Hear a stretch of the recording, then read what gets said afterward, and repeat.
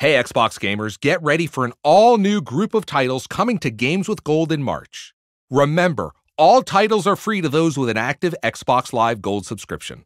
Kicking off the lineup on March 1st for Xbox One is Sherlock Holmes Crimes and Punishments, a crime solving title where you play as the legendary detective himself, investigating clues and making difficult moral choices. On March 16th, help dark hero Harkyn absolve himself of his crimes and stop a deadly war in Lords of the Fallen.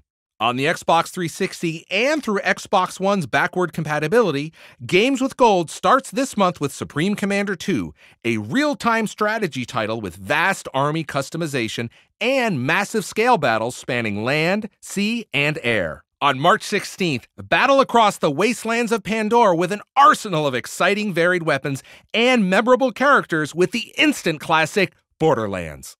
From now on, games with gold titles for Xbox 360 are playable on Xbox One thanks to backward compatibility.